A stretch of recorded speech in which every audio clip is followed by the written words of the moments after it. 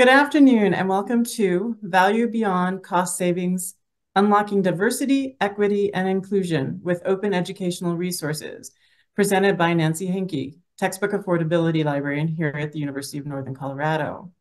My name is Stephanie Wiegand, and I will be moderating this session. So I'll keep an eye on the chat um, and any make sure any of your questions that you put into chat um, are answered or that Nancy knows about them, but also you are welcome to raise your hand um, so that Nancy can see that and she will um, answer your questions that way as well. So with that, I'd like to introduce our speaker for today. Nancy A. Henke is the Textbook Affordability Librarian at the University of Northern Colorado Libraries, focusing on affordability and open educational resources. She earned her MLIS from the University of Iowa in 2023, and she also holds an MA in literature from Colorado State University. Prior to her career in librarianship, she spent 13 years in higher education instruction at Colorado State University, teaching undergraduate composition and literature courses, mentoring graduate students, um, excuse me, and directing the composition placement program. When she's not advocating for OER, you'll probably find her chasing after her four-year-old son or taking care of the 50,000 bees she has in her backyard beehive, which she which is ruled by the queen, Beyonce. With that, I will hand it over to Nancy. Thanks, Stephanie. Uh, well, welcome everyone. Thank you for joining us today, whether you're here uh, in real time or watching the recording later. Uh, my name is Nancy Henke, and um, I'm excited to be uh, chatting with you today. So, um, one of the things that I wanted to start with is a little bit give you a preview of um, what we'll be talking about today as well as discussing some of the learning outcomes that we hope you have. So we're going to start um, by just defining some terms. Um, so we have a basic grounding of what we're talking about when we use specific terms. Um, we're going to talk a little bit about the cost savings related to OER um, so that we can then set up the um, value beyond cost savings. We'll do a little preview of open licenses and what we call the five R's of OER. Um, and then we'll talk about some very specific concrete ways in which OER, open educational resources, can contribute to DEI, diversity, equity, and inclusion. And we'll close with some further resources and further opportunities. So hopefully by the end of this session, you will be able to define OER, if you're not already familiar with the term, um, and demonstrate an understanding of the basics of open licenses. Uh, explain how the open licenses characterizing OER can contribute to a more diverse, equitable, and inclusive learning environment, as well as see examples of OER projects that contribute to DEI. Okay. So, um, just as a note, Stephanie kind of prefaced this, but please do know that um, in the context of the actual live session, I'm very comfortable with people raising their hands. It comes from having taught for a very long time, so I'm very, I'm totally fine with that. I am not great at monitoring the chat, so any questions or comments in the chat will be addressed at the end. Okay, but do feel free to raise your hand in the context of the Zoom um, if if you have a question or a thought. Okay, so we're going to start with the end. And by that, I mean, I'm going to start with a spoiler. So the title of this presentation is um, Value Beyond Cost Savings, Unlocking DEI with OER. Um, but the spoiler is that while OER can, quote, unlock the door to more diverse, equitable, and inclusive learning materials, um, they're not a silver bullet. Instructors still need to walk through the door to extend the metaphor and simply and do the work to ensure that OER are making these learning experiences more diverse, equitable, inclusive. So another way of saying that is simply by using OER does not make a classroom or a learning experience more diverse, equitable, or inclusive. It's not automatically so. So um, there is there is work to be done um, to ensure that they are doing that, and that's some of what we'll discuss today. Okay, so we're going to start with some definitions. Now, I realize that this slide has a lot of information on it, but really what I'm trying to do is just honestly be transparent about where I'm getting information from. So this right up here that I'm uh, kind of pointing to in the yellow box, that actually comes from UNC's Division of DEI, their website. And these are their definitions of diversity, equity, inclusion, and belonging. And really what I've done is I've just taken the underlines and kind of consolidated them down here to just shorten them a little bit for our context. So for the purposes of our presentation today, we will be using the definition of diversity to mean all the ways in which people differ. And it encompasses all the different characteristics that make one individual or group different from another not only race, ethnicity, and gender, but also age, national origin, religion, disability, sexual orientation, socioeconomic status, education, marital status, language, and physical appearance. And it also involves different ideas, perspectives, and values. Okay. So that's kind of an inclusive, um, all encompassing definition of what we'll be using for diversity. Equity, we will use the, the definition providing resources according to the need to help diverse populations achieve the desired outcome. Inclusion um, is authentically bringing traditionally excluded individuals and or groups into processes, activities, and decision-making and policies in a, ways, in a way that shares power. And our division of DEI also adds the term belonging um, because the I, that feeling of security and support when there's a sense of acceptance, inclusion, and identity for a member of a certain group. So we will be using these terms um, to discuss um, when we talk about diversity, equity, inclusion throughout today's presentation. I also, it's important to define OER. Different people have different levels of um, familiarity with the term. I use the UNESCO definition of OER, which I've put on the screen for you. So open educational resources, OER, are learning, teaching, and research materials in any format and medium that reside in the public domain or under copyright that have been released under an open license that permit no cost access, reuse, repurpose, adaptation, and redistribution by others. Now, that is a fantastic example of a very long academic um, definition. So let's just break it down a little bit.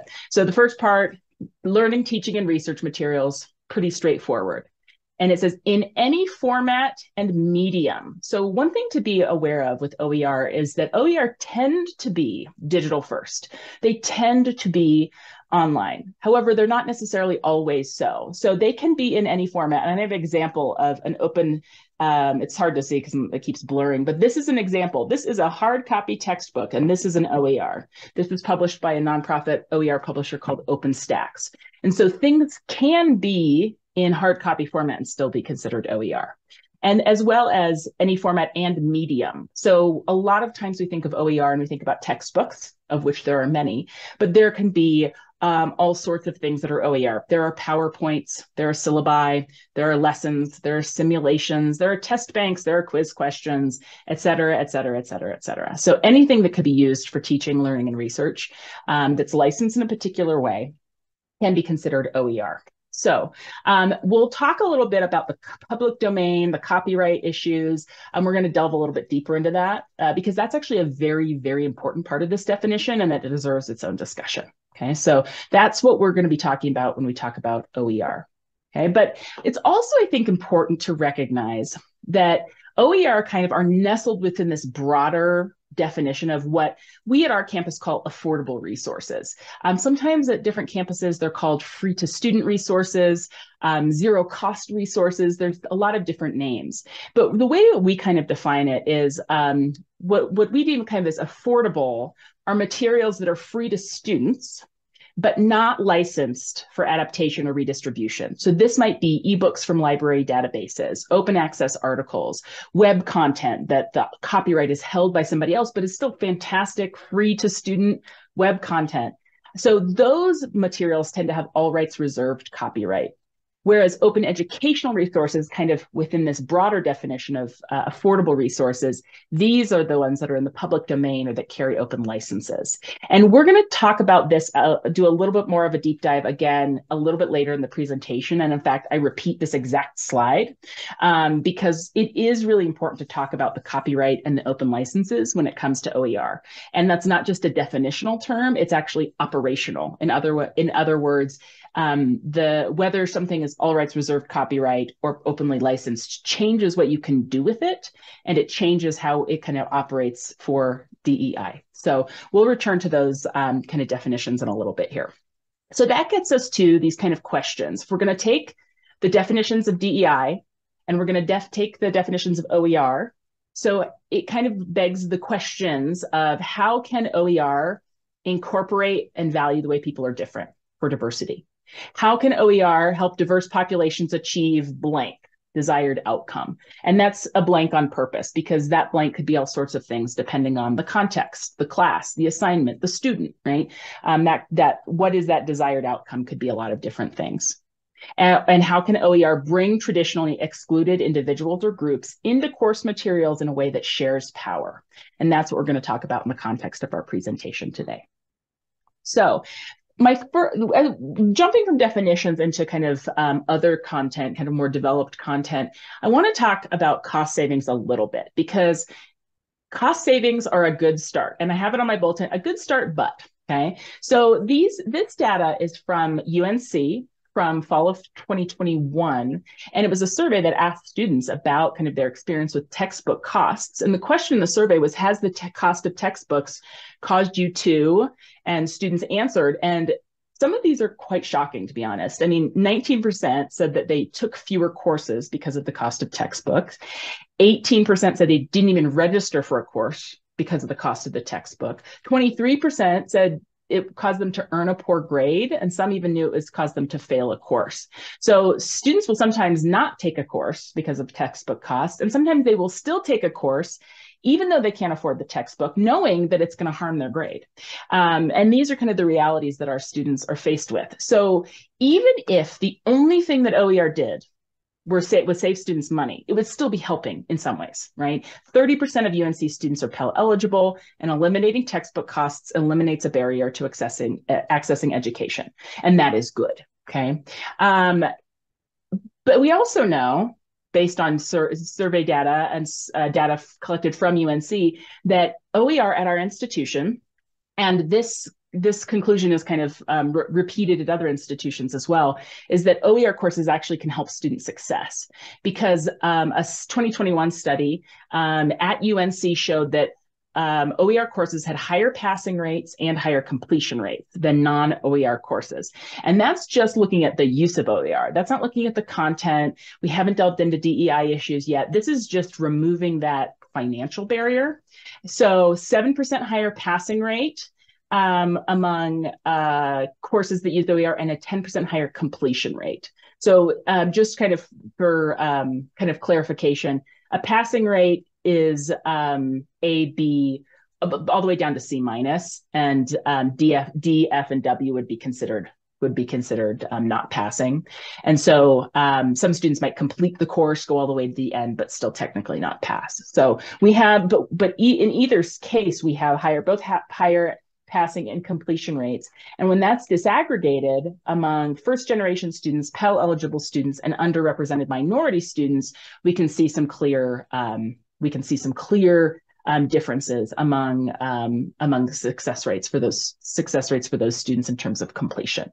So we know that even if we just eliminate the cost barrier, we're doing good things for students. Okay, but free is good, but and that's why we get to um, to kind of really the focus of this presentation. Um, because if you look into um, the literature about OER, it's really important that we have um, free, but as uh, this author points out, it hardly creates an inclusive environment for students to have free access to materials that may alienate them by not adequately representing them or through perpetuating harmful cultural biases or stereotypes. And um, Veletsianos in 2020 points out that while openness also often assumes equity and justice, higher education faces numerous systemic injustices that cannot be solely addressed by OER adoption. And if we're not mindful, the creation and use of OER could not only reflect inequities, but reinforce them as well. Okay, so so while eliminating cost barrier cost um, hurdles is good, um, it's not that silver bullet. That's the spoiler from the beginning of the presentation. In fact, Veletsianos kind of digs a little bit deeper and asks um, those of us who are in this world to kind of critically question um, who's creating OER and who's participating in it. So by asking who creates OER, we might be able to examine systemic structures that disempower certain individuals from creating openly licensed materials by asking who and who is not represented in OER and are individuals' representation in OER appropriate and empowering. We may begin to examine whether OER offer broad, diverse, and accurate representations. And by asking who is cited in OER and which forms of knowledge are reproduced in OER, we may begin engaging with the politics of citation. Now, some of these um, are things that I think about myself in the context of my role, and others are those that all of us can engage with, whether we're interested in OER creation or adoption um, in our own classrooms or whether we're kind of creating something to share. Okay, so this leads us into, if we've gotten some definitions, um, we've gotten kind of some um, understanding of free is good, and it does help, but right? It's not everything. We can then kind of lead into talking a little bit about open licenses and the five R's of OER.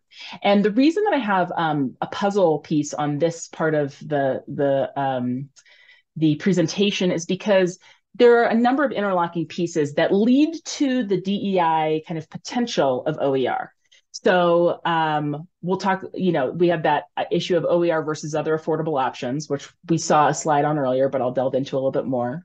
We're going to talk a little bit about public domain versus open licenses versus traditional all rights reserved copyright.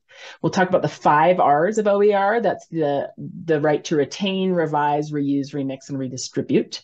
And then um, that leads to this idea of revisions and um, using that kind of power of revision to incorporate DEI into OER. Okay, so this is a slide you've seen, um, but this time I'm going to be focusing on the copyright issue. Now, I will warn you that when I was a faculty member before I became a librarian, anytime someone started talking about copyright and fair use, in public domain, I, am not going to lie, my eyes just could kind of glaze over a little bit. And I just was like, oh, this is so not my thing. And now that I'm a librarian, I was like, this is definitely my thing. But I realize now that I'm a librarian how important this is to many of the things that happen in libraries, especially what we're talking about related to OER. Because these affordable resources, and remember, these are resources that are free to our students by virtue of them being students here, right? Access to library collections, or simply because they're free online on the internet. Those are good and those can eliminate cost barriers. But because they have traditional all rights reserved copyright, they cannot be amended where open educational resources can, because OER are in the public domain or they're openly licensed. And that's a very important difference. And that's the difference that actually can kind of open doors to um, DEI benefits of OER. So, in terms of kind of this idea of all rights reserved versus open licenses, what's the difference? Um, because in all rights reserved copyright, only the copyright owner is allowed to reproduce the work, prepare derivative works, distribute copies of the work, perform and display the work publicly, unless they give someone else explicit permission to do those things. Now, one thing I haven't talked about there is the fair use exceptions. Um, that's a, I feel like that's a little bit beyond the scope of this presentation. Yes, there are some kind of fair use tests you can do um, to use um, copyrighted work in certain contexts, but generally speaking, for kind of the broad picture, the copyright owner can only do certain things with their work.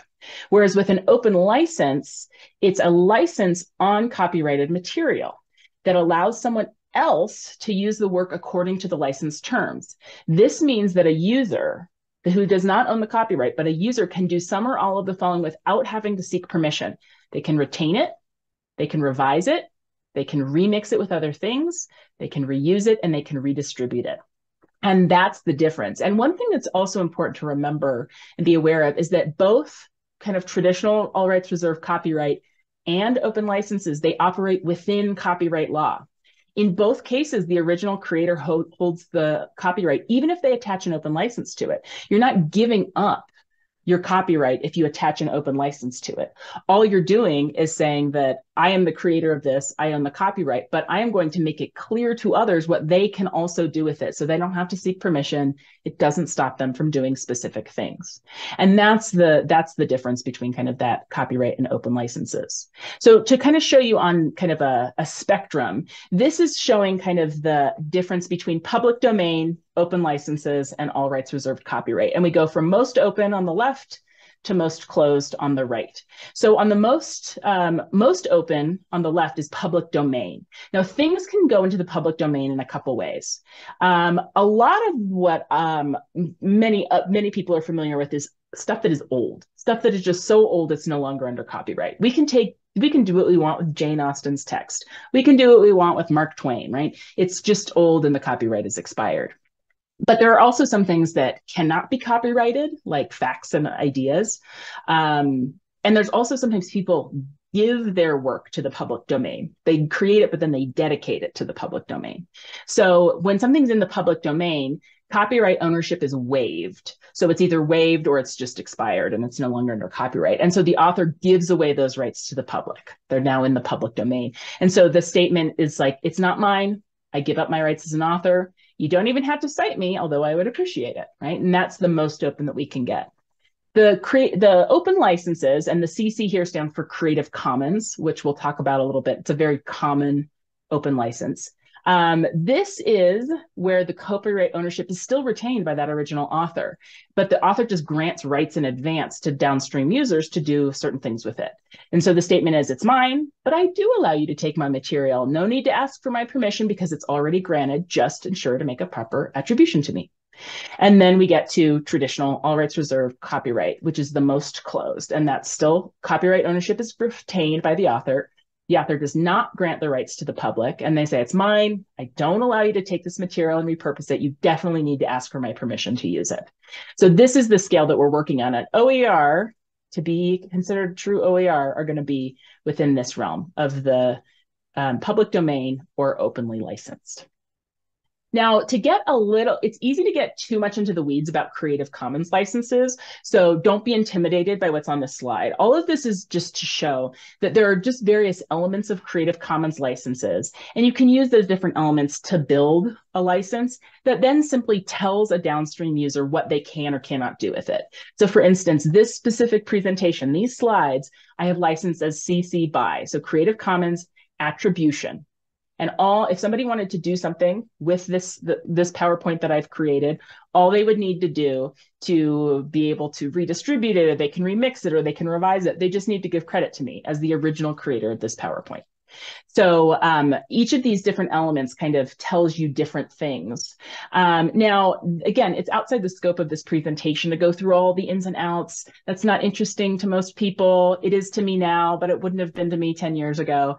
Um, but the point is, I think that my suggestion is always if you come across a Creative Commons license and you don't understand what you can or can't do with it, that's when you ask a scholarly communication librarian. That's when you could ask me, you could ask anyone on our team, um, because that's what we're here for. There's no reason for every single person um, to have to know all the ins and outs. But one thing that um, I think it is worth knowing is that if technically, if these down here are not OER, so if you look at this, this ND here means no derivatives, which means that no adaptations or derivatives can be made. And so technically, if something has that ND on it, it's technically not an OER because it cannot be revised. Okay. And that revision is so important because if you are something as a true OER, you can do those five R's with it, right? You can retain them, you can redistribute them, reuse them, revise them, and remix them. And that is um, to be a true OER, you have to be able to do all of those things with it, which is why things that are licensed as Creative Commons with the ND, um, they're technically not OER. Now, one thing I'll also say, um, just going back to the slide for a second, I focus on Creative Commons licenses. They are truly 99% of what I um, see in my work um, doing work with OER. They are not by any means the only open licenses. They are the most common that I'll see. Um, data sets often have different types of licenses. Software often has different types of licenses. So um, please do know that when I'm talking about these, I'm talking about Creative Commons, but they are not the only open licenses that exist. So that lets uh, leads us to this, which is what the five R's let you do. And what the five R's let you do, let you do the things that can open the door to those DEI benefits. So, for instance, one of the things that you can do legally with OER is amend existing OER to make the representation in those OER more inclusive. So, you can add images and textual examples of a variety of people of different races and ethnicities, ages, income levels. You can show people in both urban and rural settings. You can provide US and international examples. You can show people of different sizes and shapes and abilities. You can show different types of families. And um, that is not to be um, that is not to be undersold, right? The power of an image in a textbook. Um, or in some sort of learning material. And please do keep in mind, you don't need to be discussing DEI to include diverse imagery or examples. This example, um, that's my image, this is a screenshot from OpenStax, which is the company that publishes that hard copy textbook I saw. This is a biology textbook. And they're talking about macronutrients and they're talking about cellulose. And they have a picture. And the focus of this picture, yes, it's a person who uses a wheelchair, but the picture is actually about the cotton candy.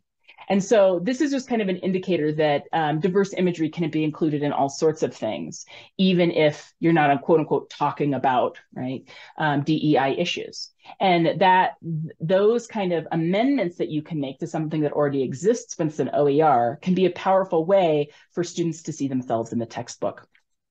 This is just another example that we have. This is a German uh, OER curriculum, uh, Grenzenlos Deutsch. And one of the things that they have done to kind of increase representation in there is that they have these kind of personas that they follow throughout the textbook to demonstrate all the different types of German speakers who exist in German speaking countries. And so they've included these personas that they that they include throughout the chapters so that so that all so that students who are learning German and students who already speak German, who are learning it, they have an understanding of all the different types of kind of German speakers who do exist. Okay. Now, one thing I'll say is that again, OER can be amended. If you're going to add um, diverse imagery to an existing OER, which you can do because of the five R's.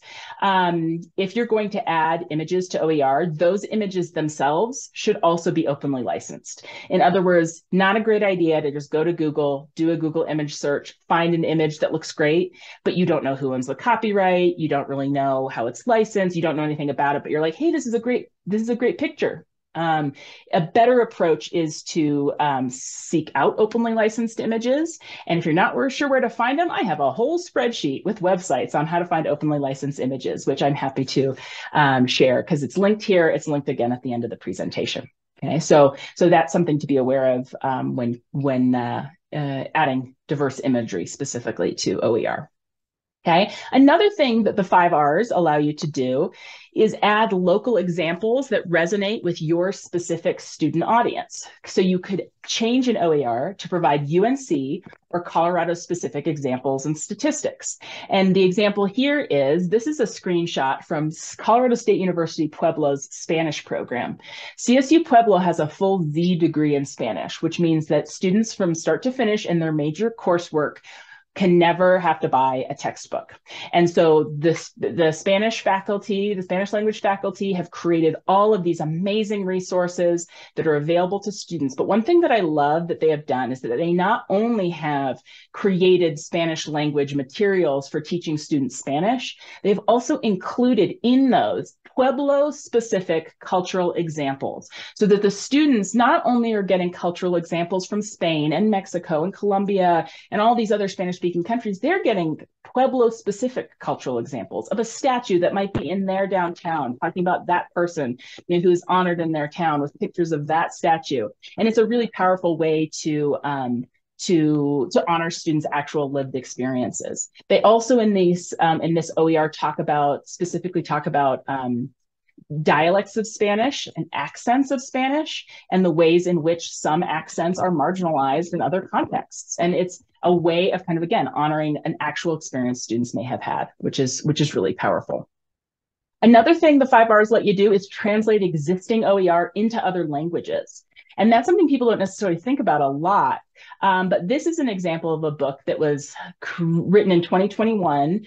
Um, it's uh, created with a, a, Creative Commons license, so licensed with a Creative Commons license. And then um, because of the license, it could be translated into Spanish and was translated into Spanish on a platform called Pressbooks. And so, um, so that then suddenly you have a whole new kind of uh, audience for it of people who speak and read Spanish fluently. And so that's a really powerful um, way to kind of um, make make things more diverse and inclusive as well. So some of the DEI related benefits, a lot of these have to do with diversity, right? And if we go back to that original definition, all the ways in which people differ encompasses all the different characteristics that makes one individual or group different from another.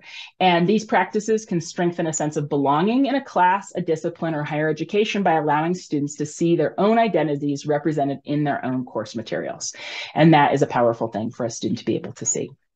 So those are a few of the things, but but there's more. So the five R's also allow you to, oops, excuse me, um, amend course materials. Sorry, I'm trying to move my move my gallery on. I'm uh, clicking wrong.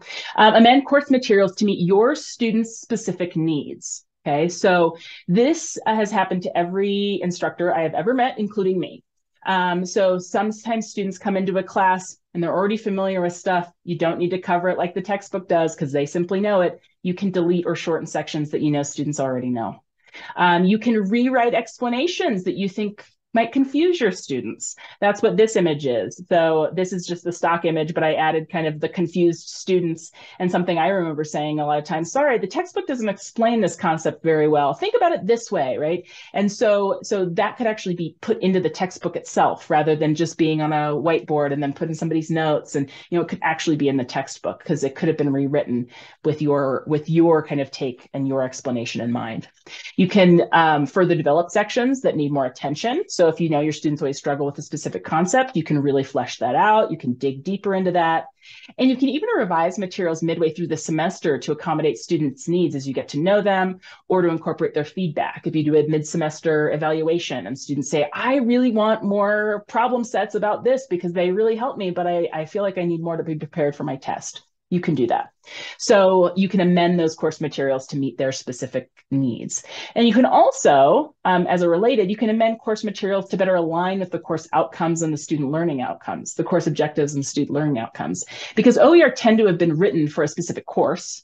So they're written by people all over the country, all over the world, um, but they tend to be written with a specific course in mind and those course objectives. And they may be slightly different than the course you're teaching. And the example I have of this relates to my previous life as a composition instructor, um, there are a lot of composition OER that exist. But one thing that is true of composition throughout the United States is that some composition courses at some universities include literary analysis, so analysis of literature, and some do not. And the class that I taught did not. So let's say I like everything about this textbook um, that relates to, you know, writing, um, writing, except the stuff about literature is not relevant to my class because I don't do that. I can just delete those I could delete every single one of those chapters. And that in some ways is small, but in other ways is huge because um, simply, even if I, as an instructor, said, okay read these chapters. Focus on these things. Um, now don't don't analyze a short story for your first paper because remember we don't do that in this class. That's a different class. Was you know don't do that. Simply by a chapter existing in the textbook. It could confuse the student. And they might read that chapter and be like oh i know what to do for this first assignment. I'm going to and analyze a short story. I've done lots of that. And so simply by having that in the textbook but it not being relevant could be a barrier to a student understanding your specific course material. Delete it you be- make it better align with your course objectives or your SLOs. Okay, and the DEI related benefits, and these a lot of ways relate to equity. So if equity is providing resources according to the according to need to help diverse populations achieve the desired outcome, um, this is an equitable teaching practice. It makes those course materials more reflective of what this, your specific students need, right? So one of the things we say in the OER world is that the um, you don't make the textbook attach adapt to the class. You make the um, the uh, class adapt to the textbook. And, and I might have said that wrong. In other words, we can make the textbook what we need it to be, as opposed to just the one size fits all that comes from a publisher with traditional copyright, and we can't we can't fiddle with it. Okay.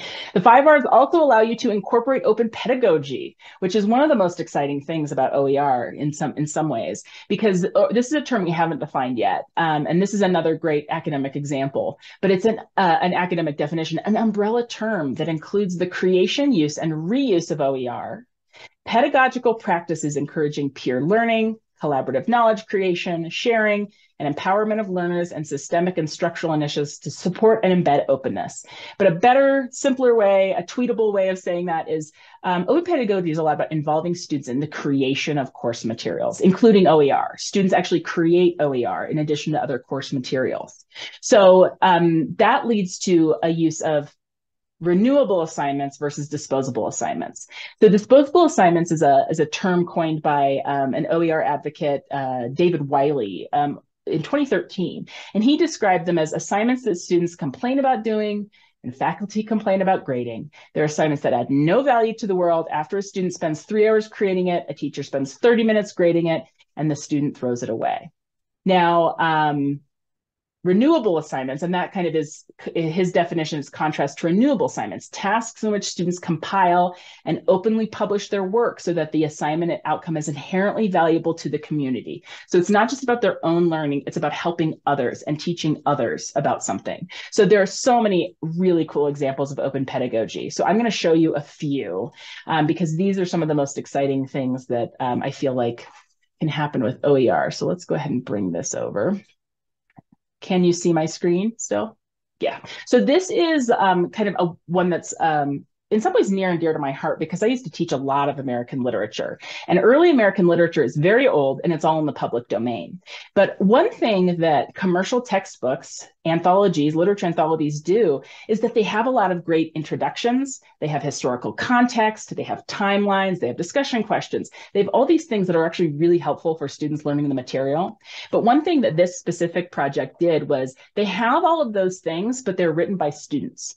So instead of the introduction to Native American and ethnographic texts, instead of that having been written by a textbook editor, the students researched it. The students wrote the introduction. The students created some discussion questions. And so the students learned in the process of doing that. And then they're also helping others learn right in the future and that's a really really lovely kind of example of an open pedagogy project so let's see another one one of my favorites is um, that i that i regret that i never did when I was an instructor was um, wiki education. So this is using Wikipedia to so teaching with Wikipedia. So this is where college and university instructors assign students to write Wikipedia articles, empowering them to share knowledge with the world. They research course-related topics that are missing or underrepresented represented in Wikipedia, synthesize the available literature, and then add that information to Wikipedia. So they are helping make Wikipedia more diverse, more thorough, um, and in the process, they're learning, but they're adding value to the community in some really lovely ways. Um, another example that we have here is social annotation. Um, now, there are more than one tool. There is more than one tool for social annotation, but the one I'm looking at is Hypothesis, which is a tool that can be integrated into a number of different OER platforms. And in some campuses, it can be integrated into Canvas if you have the right kind of settings or permissions or it could be cost as well.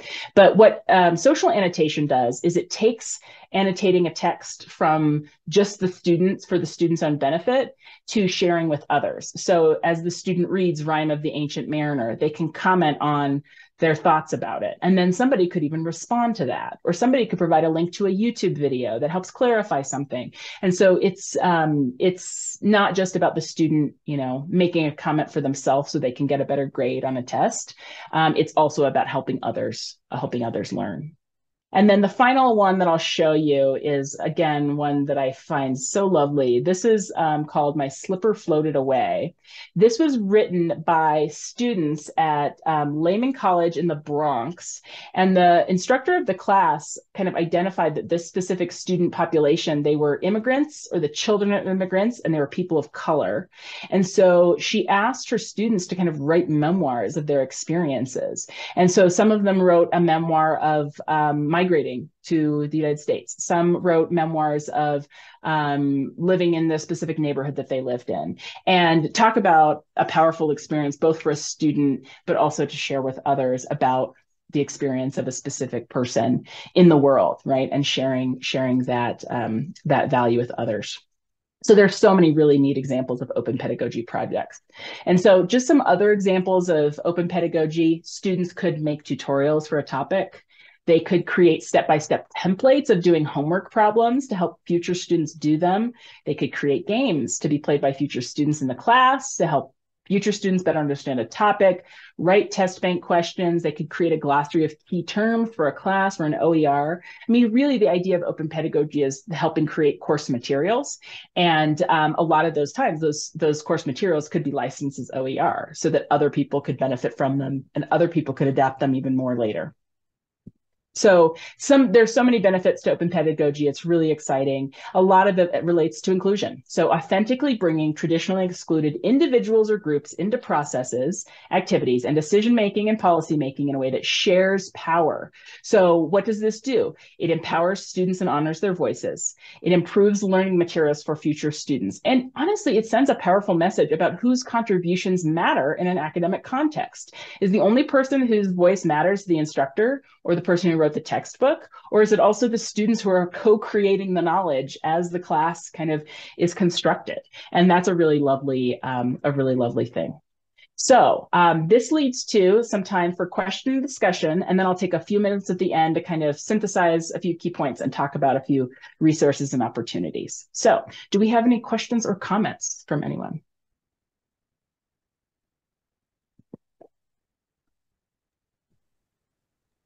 You do have one in the chat. Would you like me to go ahead and read oh, it? Oh, yes. Would you please? Thanks, Stephanie. Of course. Textbook cost transparency is a fairly new policy on campus. When I was a student, we had no way of knowing ahead of time how much the courses required textbooks might cost. How easy it for, is it for students to know that information now? That's interesting because it's all relative. The answer, how easy it is, is relative. So if you're comparing it to, for instance, my own experience as well, so much easier than it used to be. However, it does still require that the student know where to go to find that information and how to access it. So UNC, for instance, um, as kind of part of a state mandate, we actually publish the, the estimated cost of course materials. But if you don't know where to look for that, if you don't know where to find it when you're registering or when you're thinking about what to register for, then it's great that it exists, but it's not necessarily helping you. So honestly, one of the things that we've been doing um, in uh, the AOER committee is um, the registrar's office created a video that shows students how to find OER courses in the registration system. And one of the things that we're doing as part of um, outreach in uh, on the committee is helping students know about that resource. So we're partnering with, we're doing some social media stuff. We're partnering with SGA so that they can kind of get the word out. Because like so many things, I mean, I feel like librarians face this all the time. The information exists, but how do you get it to the people who need it, right? And I guess that's not just librarians; that's a lot of people in the world. But um, so it's it's definitely easier um, but it is also a matter of making sure that the students and or their advisors um, the people that support them throughout their academic journey can know where to find that information. And that's some of what we're trying to do um, with outreach from the aoer committee. Right. A second question we have in the chat. Is there a central place to find examples of open pedagogy Ah, uh, yeah. So there, um, the thing about um, mm, there's a couple kind of key resources, I guess I'd say. So the Open Pedagogy Notebook is one that kind of comes to mind, but I believe that that has is no longer being updated. So what we have, and if you Google Open Pedagogy Notebook, it kind of is static. Um, one of the, so there's there's not so there's a couple places that you can get some good ideas but in general a lot of the stuff in the oer world is distributed. It's in different repositories. It's on different websites. Um, it's in different institutional repositories. And um, in some ways that's really frustrating and understandably so for people um, because it would be nice to go to one place and be able to find everything you need about open pedagogy, for instance. But also, just because of the nature of how OER are created, um, it's also in some ways some of the power of OER is because there's not just one place that if that one place goes down or it gets purchased or somebody quits or something then the whole thing kind of is is turned upside down and people people can't get what they need. So so that's really one of the things that i recommend is call on your uh, friendly oer librarian that's me um, to help you do those things um, and we could talk about some specific places some specific searches um, that that we could do to help you find what you need um, in the various repositories that do exist. I wonder about the possibility for tension between the notion of expertise and authority from the traditional pedagogical position and how authoritative a source created by students might be. I saw the examples of discussion questions and materials to be used in class, which makes sense. I suppose that I'm feeling, what I'm feeling is the possibility of pushback against open pedagogy that mm. relies on student product rather than the old school authority. Not really mm-hmm. a question, but perhaps you could share how you'd respond to that objection. Yeah, and that's something that I have thought about too, right? I've thought about this because um, for lack of a better phrase, we don't want the li- blind leading the blind, right? Um, I don't love that phrase, but the idea that somebody who's not an expert in something um, kind of taking a position and then other students maybe taking that later as like that's the way this is and so one of the things that um, that i would say is that at least in the experience of people i've spoken with it's not immediately published and not everything is published that's the way that a lot of instructors i've um, found kind of handle this. So it it isn't just um, first it isn't a one and done. It's peer reviewed. It's gone through kind of di- peer reviewed among students. It's gone through writing processes, and then um, a number of times faculty, a number you know faculty have worked uh, individually with students to kind of help continue crafting something so that it does align um, with kind of knowledge in the field and that sort of thing. So, so I would guess I would say that um, I guess I would say that it's not as a lot of the open pedagogy projects, it's not as if they're they're simply written at three o'clock in the morning uh, by a student because that's what students do because I did it too, right? And then suddenly it's on suddenly it's um, being distributed, to, you know, as uh, as an authority um, on this specific topic. It's just not really how the process tends to work. And even when you're talking about something like Wikipedia, um, if you have like pro- truly problematic and inaccurate, inaccurate information in a Wikipedia article, usually somebody will flag it. Now, what does usually mean? It depends on the context. I mean, there's all sorts of kind of different things, but um, but if something is really wrong with a Wikipedia article, um, it'll get it tends to get flagged pretty quickly um, by by other users. So so there's definitely some definitely some kind of concerns there, but also I think it's about in some ways about the learning process itself because it isn't just about the product going out to the world. It's about the process that you go to get there. And some of that process usually is getting feedback from others and getting your instructor to look at it and that kind of thing. All right. Looks like we have one last question about how oer get updated. And if someone has gone to the trouble of creating a more up-to-date or more culturally sensitive oer from uh, an original one, how do I find the modified one?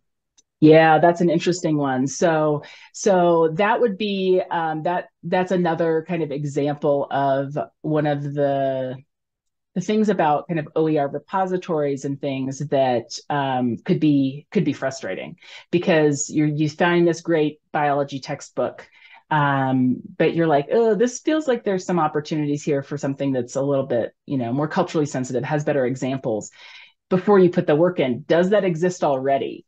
Right? And that's that's again another example of um, kind of calling on the resources of the community. Because if a faculty member came to me with that and they're like this is great but eh, i'm not loving some of the kind of representations here. Is there something better that's the first thing I would do is do some searches myself. But the second thing I would do is call upon kind of the collective hive mind available on the open educational resources listservs and see what people had recommendations for. So um, to see is like, yes, somebody at our institution did update that and um, they did they did do that, you know, um, so that they that those kind of representations are kind of um, better or we don't see one that exists. But if your faculty member does that please share it with us because i know people at my institution would love to know that too.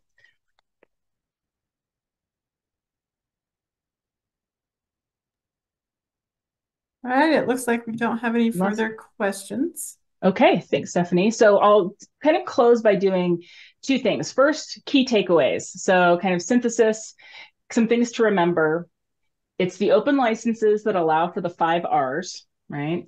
And the five R's are what open the door to more inclusive representation, revision of course materials to meet student course needs, and those open pedagogy projects. And so the open licenses in a lot of ways are really key to what we're doing here because that does not mean that traditionally published textbooks are are not don't have diverse equitable and inclusive kind of uh, elements to them right? It could be a really lovely example.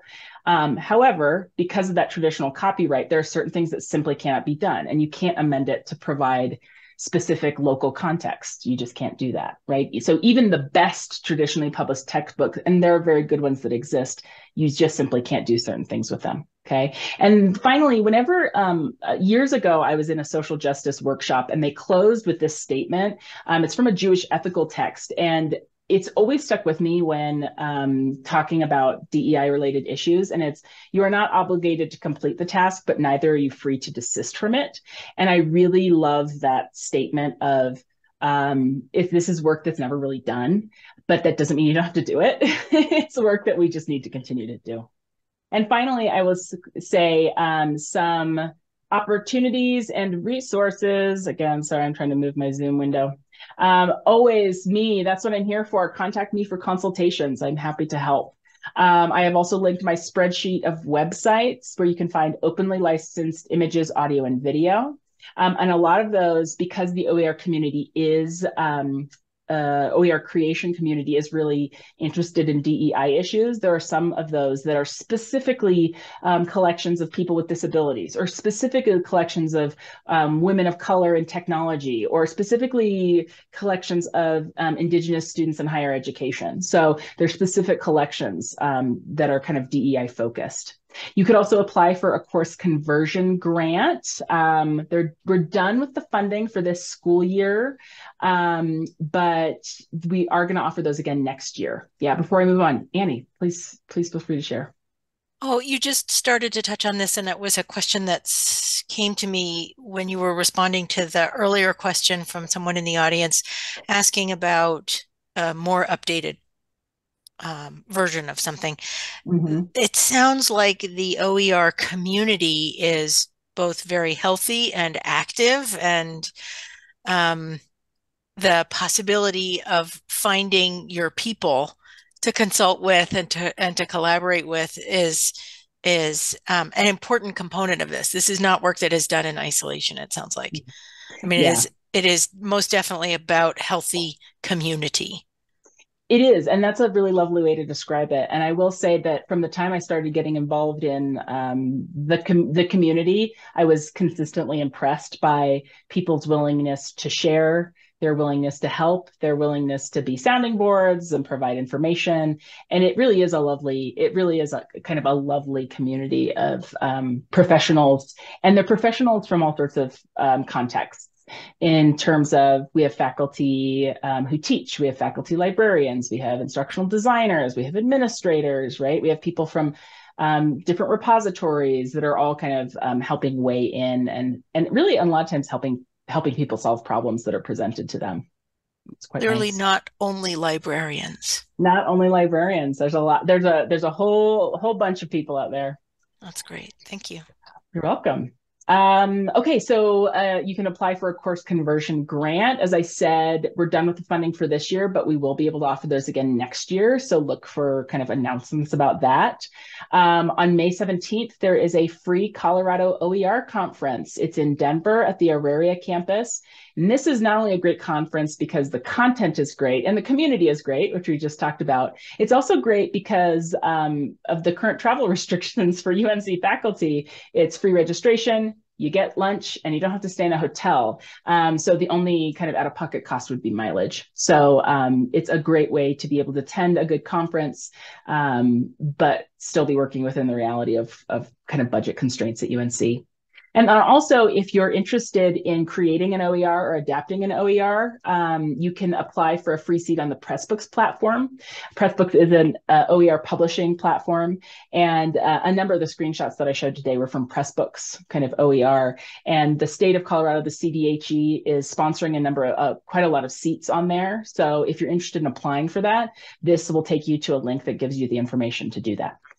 So there we go thank you very much for coming. I appreciate I appreciate those of you who attended, and um, I look forward to um, you all being involved in OER more in the future because it's something I care a lot about. So I'm glad you were here and care about it as well. So thank you.